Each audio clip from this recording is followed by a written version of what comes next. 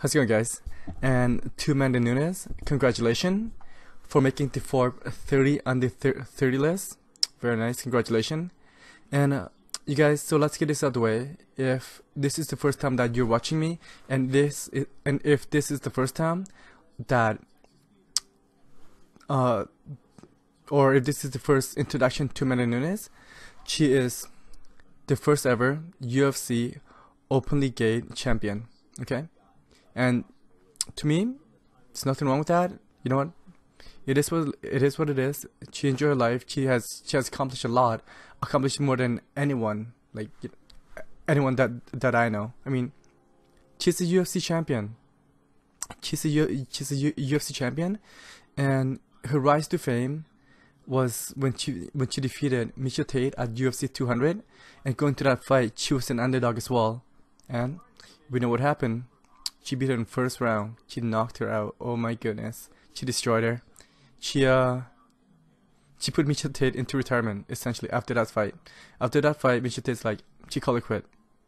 She called it quit.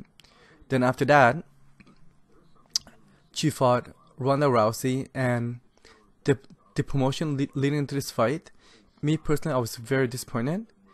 It's just the fact that she is the champion. Amanda, Amanda Nunes is is the champion, and chose the champion going to that fight. While while however, this was a returning fight of Ronda Rousey, and Ronda, Rousey, she's such a big star. So the promotional le- leading to this fight, all we hear is ret- the return of Ronda Rousey, the return of Ronda Rousey. It blows my mind. I'm like, fuck's sake. So I was hoping that I was hoping before this fight that Amanda Amanda Nunes would just go in and just destroy her, and just destroy her. but to my surprise, holy shit, you guys, she destroyed in 48 seconds. And that knockout, that the knockout, the replay was played like everywhere. Oh my goodness! It essentially the the rise that fight.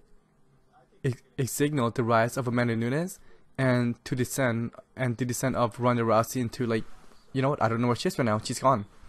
The last time I heard about her is that her and her now husband, um, Travis Browne, got married, and she's doing something with the WWE, which you know what? I don't watch wrestling. I used to when I was younger, but then I grew up. I mean, it's it's fake. I can't watch that shit.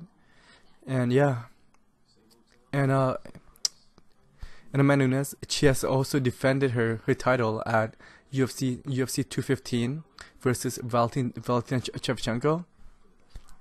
Well, I don't I don't know what to say, except congratulations, keep up the good work, and yeah, that's it. Good job, Amanda. Okay, guys. Um, thank you very much for listening to me. And um, if you have not, please comment, and subscribe. I would, love, I would love to hear from you. And yeah, I'm very proud of her. Good job, Amanda.